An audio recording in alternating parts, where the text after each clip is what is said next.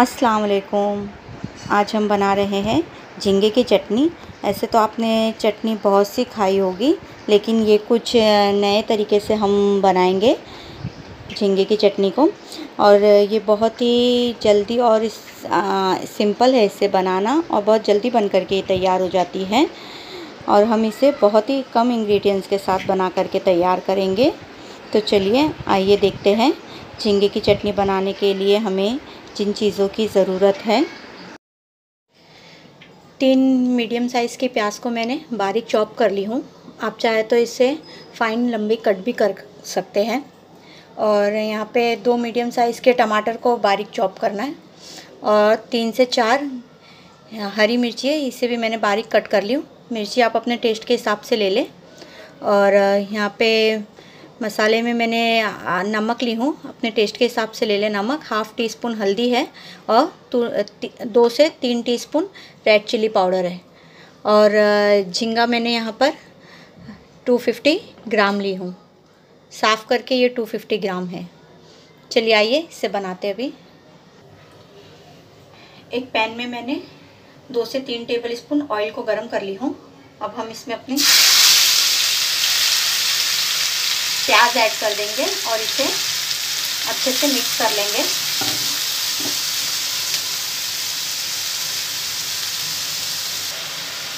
प्याज को मैंने अच्छे से मिक्स कर ली हूँ।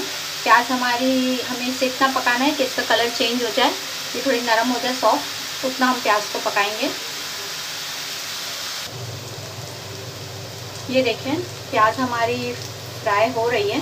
ये थोड़ी और तीन से चार मिनट के लिए हम इसे और फ्राई करेंगे। उसके बाद मैं आपको दिखाती हूँ। इसे बीच बीच में हिलाते रहें, नहीं तो ये नीचे से पकड़ लेगी। इसलिए इसे बीच बीच में हिलाते रहें, नहीं तो ये नीचे से जल जाएगी। तीन से चार मिनट हो गए। बस हमें प्याज को इतनी फ्राई करना है। अब हम इसमें झींगे ऐड कर देंगे। इसे भी अच्छे से मिक्स कर लेंगे।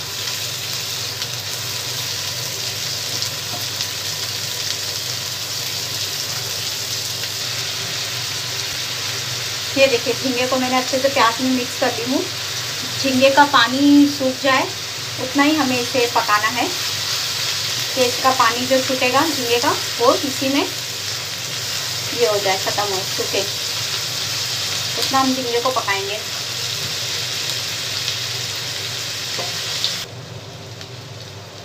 दो से तीन मिनट हो गया है। मैंने इसे फास्ट गैस पे पकाई हूँ और इसका पानी भी अच्छे से अब सूख गया है। अब हम इसमें टमाटर और हरी मिर्ची को ऐड कर देंगे। और साथ ही में जो हमने हल्दी मिर्ची, नमक निकाल के रखे थे, वो भी इसमें मिला देंगे। नमक और मिर्ची आप अपने टेस्ट के हिसाब से लें। इसे भी हम अच्छे से मिक्स कर लेते हैं। इसे मिक्स करने के टाइम गैस को स्लो कर दें। हाँ। और फिर इसे मिक्स करें।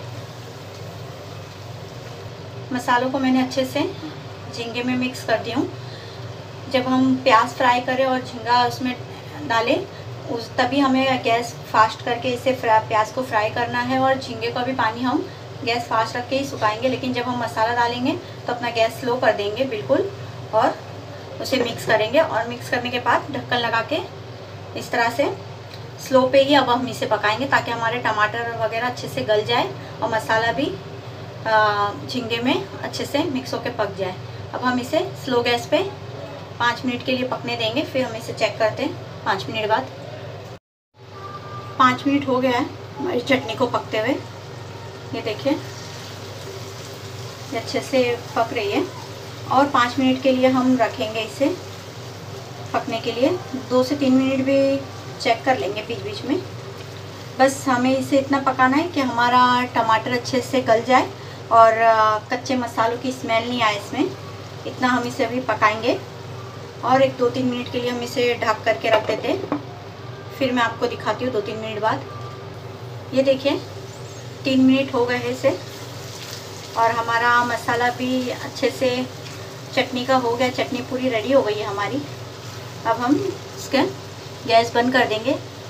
आप देख सकते हैं, जैसे इसमें टमाटर भी अच्छे से गल गए हैं और जो कच्चे मसाले की स्मेल है, वो भी ख़त्म हो गई है। अच्छी खुशबू आ रही है अब इसमें। अब हम गैस को बंद कर देंगे। ये देखिए हमारी झींगे की चटनी बन कर के तैयार है। जैसे कि आपने देखे, ये कितनी जल्दी और सिंपल है इसे बनाना और बहुत ही जल्दी बन के ये तैयार हो जाती है। आप इसे एक बार ज़रूर बनाइए बहुत ही टेस्टी बन कर के तैयार होती है। आप इसे रोटी के साथ, पाव के साथ, दाल राइस के साथ खा सकते हैं, ये बहुत ही टेस्टी लगती है साथ खाने में। और अगर आपको मेरी ये रेसिपी अच्छी लगे तो इसे लाइक शेयर करिए। चैनल पे नए हैं तो वन टाइम सब्सक्राइब करिए। चलिए, अल्लाह हाफिज़।